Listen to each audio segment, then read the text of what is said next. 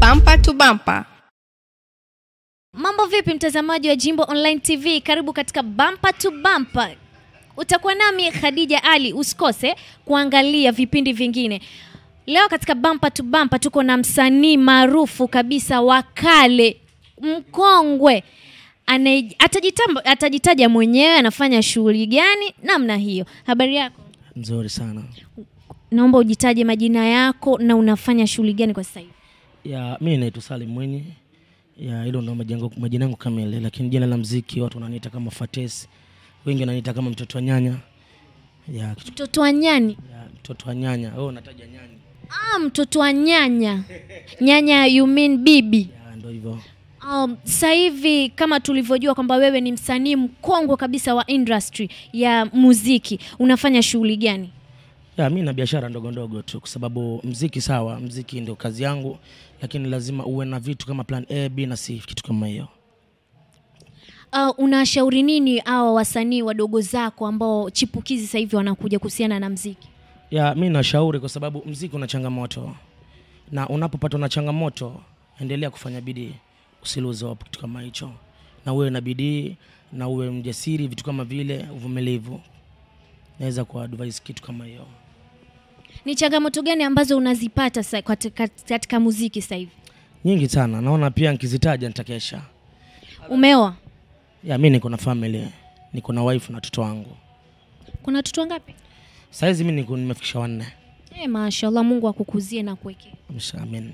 wewe ni mkongo katika music uh, katika enzi hizo mpaka sasa hivi unajivunia nini hapo katikati ya wakati ulikuwa katika music ya mi ningesema nashukuru kwa sababu mziki ni biashara. Kuna vitu vingi nimevifanya. Siwezi sema mambo mengi. Mi naweza kusema mwenyezi mungu amejalia angapata ujenzi. Siwezi sema mambo mengi maana binadamu apendane au sio? Umeleta faida ujenzi. Mafanikio kidogo nayaona. Kitu kama hiyo. Tutarajie kolabo gani ama kibao gani katika hizi masiku? Masiku ni kazi tayari ishaanza kwa sababu nimefanya kolabo na sosomela. Ndo saizi Tana River ina trend ya kwa sasa na western na trend mombasa ni launch tarehe kumi na tano ambapo ni Monday.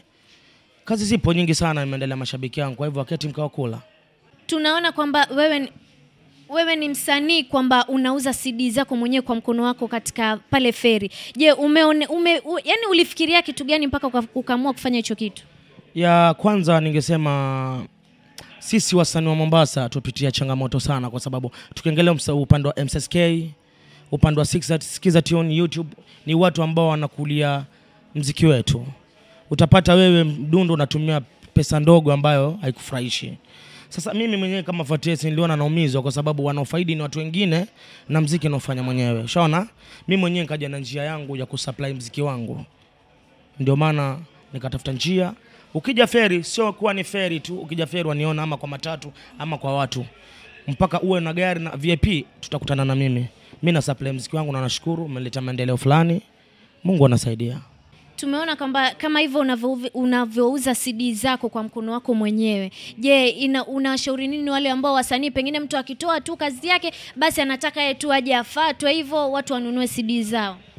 Ya kimimi naweza sema ile biashara anayofanya mimi yanitengezea pesa kuliko mambo mengine kwa sababu mimi mwenyewe pale napouza dvd moja kama dvd album wangu nauza mia tano one pieces. Na kwa siku nauza 100 pieces. Shaona alafu audio zangu mwenyewe nauza shilingi mia mbili. Kwa siku nauza cd mia moja. Umeelewa? Nakuta ina faida kubwa sana kuliko kutegemea net ama mdundo ama sikiza kitu ama youtube.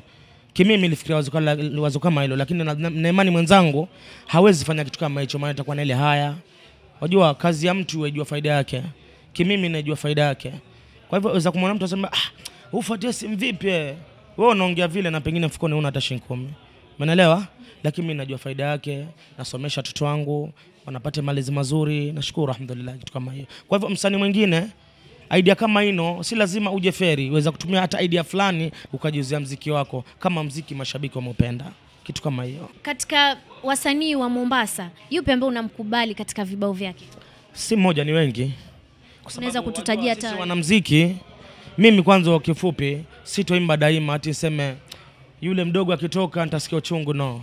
Talent ni nyingi. Hata hapa shule namani kuna talent kiba. Na mimi naweza sema wasanii wanaofanya vizuri mombasa ni wengi. Hata nikiwataja labda nitake kuna Kalechi Africana, mi naona yafanya vizuri amba, alafu stosha ni, ni, ni kama brother, tumetoka mbali, au sio? Kuna Masauti pia anafanya vizuri, kuna Ali Mahaba kijana mwingine pia anakuja poa, umeelewa? Wasanii wa wengi, na nikisema na wataja wengi nitakesha wanafanya vizuri kwa game kwa sasa.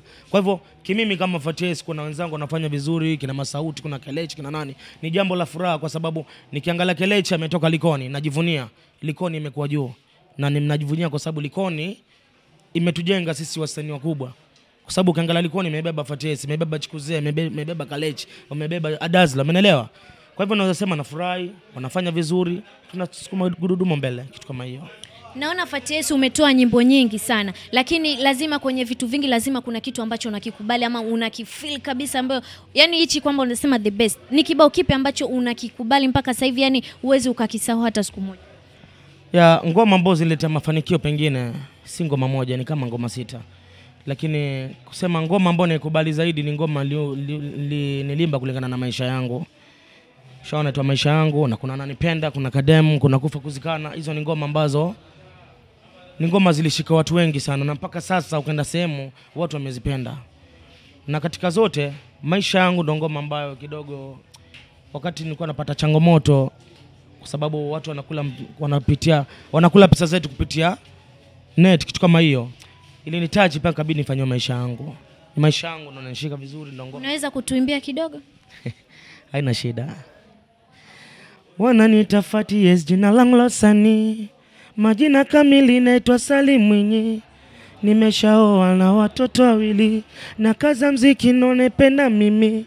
Vipi nakonda, nakonda, nakonda maisha yangu mi naona kama nani dhulumu, sioni mwanga, nachoona kwangu mimi ni matatizo. Ya ndio ndo ngoma ilinishika. Hiyo ngoma, hicho kibao ulichosema kwamba ni ngoma ambayo unaikubali ya maisha yangu, tuliona kwamba ulifanya kolabo na Fisherman. Je, huyu Fisherman yuko wapi sasa hivi? Ya, kwa sasa Fisherman hayuko, yuko safari German.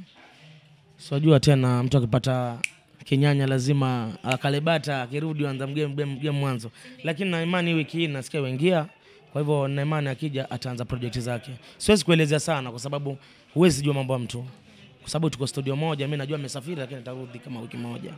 Kuna wako, wasanii wa Kongo wenzako kama huyu Daddy Sele, hivi ikapotelea wapi?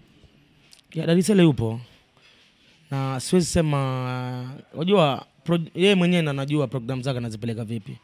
Pengine yeye mwenyewe ameona afadhali nitulie, ipo siku gani nitaendelea na mziki, siwezi jua, lakini najua yupo na kila siku tuko pamoja, tupeana mawazo. Dadi Sele yupo. Mtoto huyu ni hatari, shuleni nilisoma naye, kimapenzi ni hodari, wengi wetu wengi watamani kuwa naye, kwake nimetia nanga, sitotanga tanga eh. Mm, mtoto rangi fantagialo fantagialo mm, anapendeza fantagialo fantagialo mm, give me that ya unatizama Jimbo TV, hapa ndo mpango mzima, usiondoke mtu wangu. bampa tu bumper.